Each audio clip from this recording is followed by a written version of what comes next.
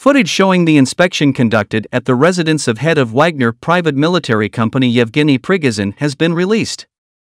As can be seen from the footage released by the Russian mass media, a large amount of money, including foreign currency, weapons, fake documents, wigs, and a sledgehammer with the inscriptions important negotiations on it have been found in the house.